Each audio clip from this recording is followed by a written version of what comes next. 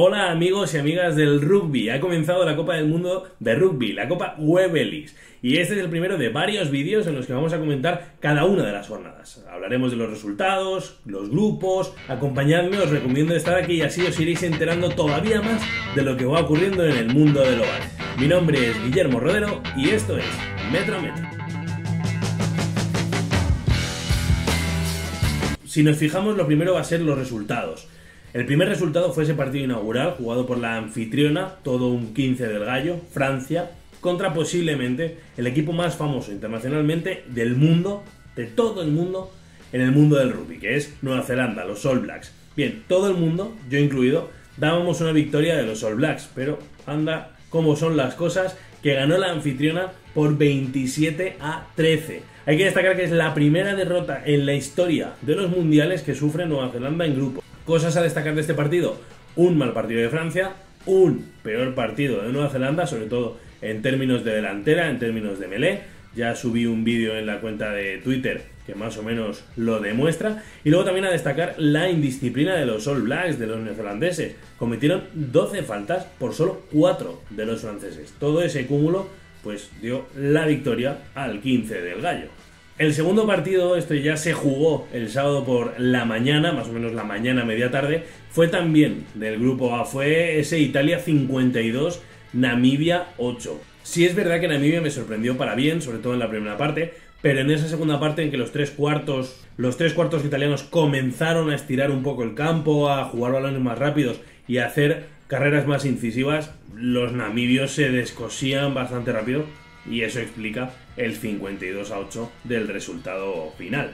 El tercer partido que se jugó ya nos lleva a otro grupo, al grupo B, y es ese Irlanda 82, Rumanía 8. Sorprendentemente comenzó ganando Rumanía. El primer ensayo del partido lo anotó Rumanía. El primer ensayo del partido y su único ensayo, el único ensayo rumano. Después llegaron muchos más ensayos irlandeses. A destacar que Jonathan Sexton, el número 10 de Irlanda, mítico, jugador de Leinster y de la selección irlandesa, se convierte en el mayor anotador de la historia de Irlanda en las Copas del Mundo.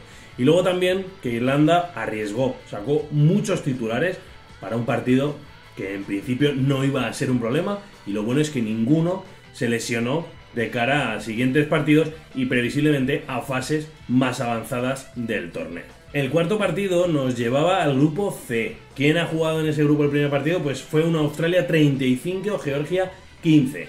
Aquí me sorprendió Georgia. Georgia hizo su partido, es una selección muy rocosa, muy fuerte. Yo me la esperaba menos móvil, me sorprendió bastante. Y luego también tuvo más ensayos de los que ensayó, ¿vale? Es decir, pudo anotar más ensayos de los que finalmente anotó. Australia cumplió, venció y convenció. Pues oye, ganó, ganó con bonus, 35 puntos, bastante bien. Me sorprendieron los pocos placajes exitosos que hicieron los australianos. Apenas 50, por cierto, 38 que hicieron los georgianos. Es decir, los georgianos se hincharon a placar, aunque no fueron los que más placaron de toda la jornada. Y de nuevo, para hablar del último partido del sábado, nos tenemos que cambiar de grupo. Nos vamos al grupo D, a ese Inglaterra 27, Argentina 10. Sorprendió el resultado pero es que sorprendió también el mal estado de Argentina, el mal partido que hizo Argentina. Muy floja en defensa, muy floja en ataque, muy poco móvil. Las jugadas de, peligro, de verdadero peligro, llegaron casi al minuto 60 y algo, que llegaron los ensayos 60-70. Lo más destacado es que a partir del minuto 10, Inglaterra jugaba con un jugador menos. Jugó 70 minutos con 14. Porque a los 3 minutos le sacaron una roja a Curry, que es una roja que se ha debatido bastante, lo hemos debatido en Twitter esta semana, pero es que estuvo con 14. Y los 27 puntos de Inglaterra fueron al pie, no hizo ni un solo ensayo. Pero le valieron los drops y los golpes de castigo convertidos por George Ford y con eso pues ganó un partido. 27-10. Los argentinos flojísimos, flojísimos. Mucho tiene que cambiar porque previsiblemente los argentinos pasarán de ronda, salvo una sorpresa mayúscula, pero mucho tiene que cambiar para poder enfrentarse a una muy previsiblemente Australia, una Gales, una a lo mejor Fiji y poder pasar de ronda bien. Llegamos al domingo, el primer partido fue el Japón-Chile del grupo D, ese Japón 42, Chile 12, Chile que debutaba en una Copa del Mundo. Eh, fue un partido un poco correcalles, en un poco lo esperado, ¿no? Japón es un equipo muy móvil, es un equipo muy rápido, que a los 7 minutos eh, metió su primer ensayo Chile. Chile hizo buen partido, plantó cara. Yo me esperaba una Chile peor, me gustó mucho, fue muy divertida.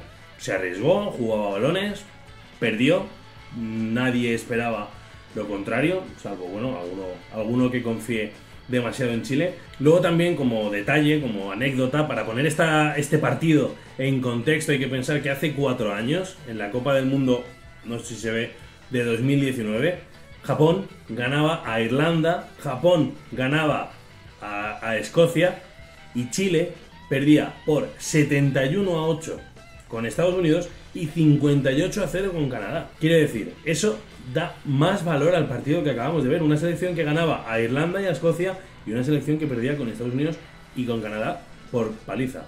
Ahí está el contexto de este partido. En el segundo partido de la tarde del domingo debutaba la campeona del mundo, la vigente campeona del mundo, y se cerraba el grupo B, ese grupo quizás con, con más nombre de toda la competición, y es que Sudáfrica ganaba por 18 a 3 a Escocia. Escocia no hizo buen partido ofensivamente, hizo menos metros recorridos que Rumanía y que Namibia, pero bueno, Sudáfrica lo que hizo fue una primera parte muy igualada y tiró de Bomb Squad, que para quien no lo sepa es la delantera suplente, la primera línea suplente que son tres animalitos, son tres golems, son tres estatuas de bronce que lo que hicieron fue seguir arrasando a la delantera escocesa y terminaron por llevarse el gato al agua. El último partido del domingo y último partido de esta primera jornada fue quizás uno de los más entretenidos y de los más esperados por las expectativas que había en ambos equipos. Fue el último del grupo C, el segundo del grupo C, ese Gales 32, Fiji 26. Ha habido bastantes comentarios respecto al árbitro, yo no lo voy a comentar en este partido, cada uno y cada una, si quieren informarse de eso, que vaya a Twitter, hay tweets de sobra, de mucha sobra, para comentar el tema. Aquí vamos a hablar de la muy buena defensa de los galeses. Los galeses, pese a no hacer un partido excesivamente brillante en ataque, cumplieron, metieron los ensayos que tenían que meter, jugaron como tenían que jugar, más o menos. Defensivamente fueron una barbaridad. Hicieron más de 200 placajes exitosos. Eso es una locura. Decíamos que Georgia había hecho 138 frente a 50 a los australianos, pero es que Gales hizo más de 200.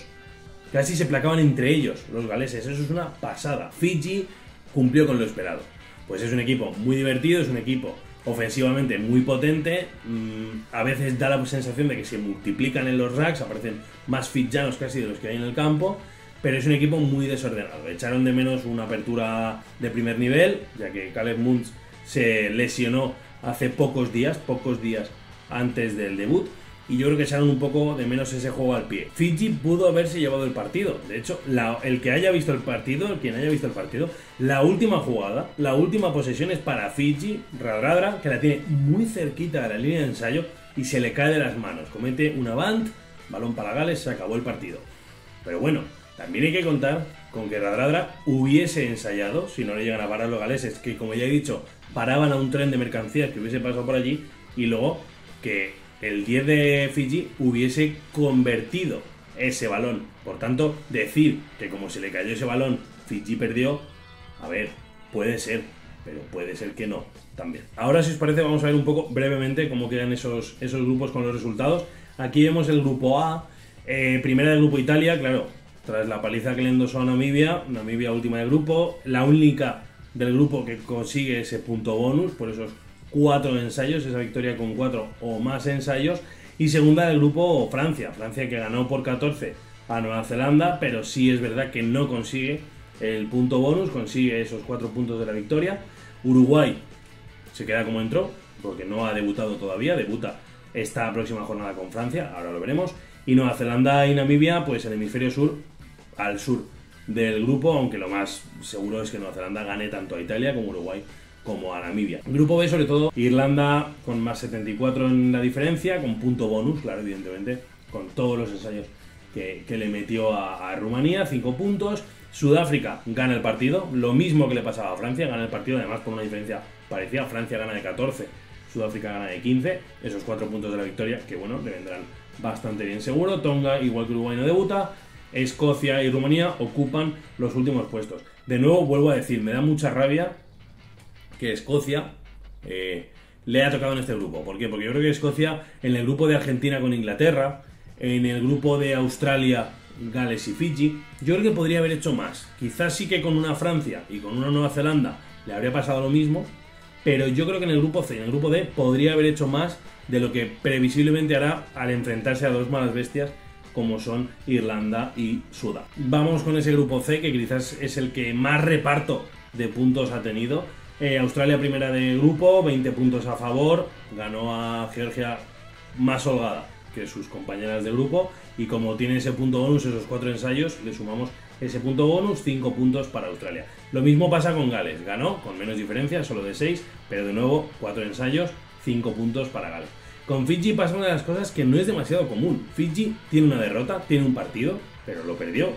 Pero tiene dos puntos. ¿Por qué? Porque tiene el punto bonus ofensivo de haber metido cuatro ensayos, solo que no fueron suficientes para ganar, pero también tiene el punto bonus defensivo. ¿Por qué? Porque perdió de 6 contra Gales. Recordemos que si pierdes de 7 o menos, tienes el punto bonus defensivo. Portugal no ha jugado todavía, no ha debutado, y Georgia es el único que pierde no obtiene ni punto bonus defensivo ni punto bonus ofensivo, por tanto, otro rosco Y por último, pues el grupo D, cerramos el, casillero del Mundial con esa Japón que ganó de 30 puntos a Chile con 4 o más ensayos, por tanto punto bonus, 5 puntos. Inglaterra ganó de 17, pero Inglaterra no hizo ni, ni medio ensayo. Ni medio ensayo, todos los puntos fueron con el pie. Por tanto, ya no es que no hiciera 4, es que no hizo ni 3, ni 2, ni 1, ¿vale? 4 puntos. Ganó su partido, pero no metió tantos ensayos. Samoa de nuevo no debuta todavía. Argentina pierde 17, 0 puntos. Si hubiese metido 10 puntos más tendría el bonus defensivo, pero no lo tiene. Y Chile, pues haber sido la que más ha perdido por 30 puntos, última del grupo. Y ya estamos acabando este vídeo, vamos un poco con la jornada que nos viene. Esta jornada empieza en jueves, recordemos que la última fue viernes, sábado, domingo, esta es jueves, viernes, sábado y domingo. El jueves comienza de nuevo con la anfitriona, Francia-Uruguay a las 9. El viernes eh, cierra ese grupo A con Nueva Zelanda, Namibia a las 9. El grupo B, grupo C, grupo D empiezan igual que la jornada anterior. Cada uno tiene un partido el sábado y otro el domingo. El grupo B el primero es Irlanda-Tonga a las 9. Luego el grupo C será un poquito antes, el Gales-Portugal. Y el grupo D todavía un poquito antes, que es ese Samoa-Chile. El grupo B cierra con el Sudáfrica-Rumanía. El grupo C tiene a las 6 menos cuarto de la tarde posiblemente así visto a bote pronto, el partido más interesante, más competitivo de toda la jornada, que es ese Australia-Fiji. Ya hemos visto a Australia ganar a Georgia, bien, convencer, a ver qué hace contra Fiji. Fiji una selección que casi a puntito estuvo de ganar a Gales. Entonces a ver cómo se miden las fuerzas. Y luego para cerrar el grupo D y cerrar la jornada el domingo 17 a las 9 de la noche, un Inglaterra-Japón.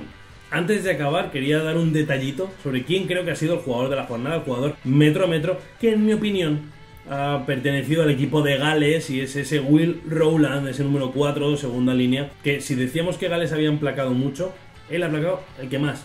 27 placajes del animalito, ni uno fallado, todos exitosos, todos en su sitio, a su señor y en su momento. Bueno, espero que no haya sido un vídeo demasiado largo, demasiado pesado, demasiada información en poco tiempo. Yo espero haberlo hecho lo más ameno posible y os prometo que he intentado recortar lo máximo posible. También espero que os haya servido para saber un poco ya cómo van las cosas en esta Copa del Mundo. Todavía es pronto, pero ya más o menos se van apuntando dinámicas. Muchísimas gracias por ver el canal, por ver el vídeo hasta el final, si habéis aguantado hasta el final. Y muchísimas gracias por el crecimiento que está viviendo el canal, de verdad. Las últimas semanas han sido una maravilla. Así que os recomiendo suscribiros al canal, ver los vídeos, compartir el canal con esas personas a las que creéis que le puede interesar el rugby, el mundial, el deporte, lo que sea. Vamos subiendo escalones. Muchísimas gracias, mi nombre es Guillermo Moradero, esto ha sido Metro a Metro. Nos vemos en el próximo vídeo. Mucho rugby.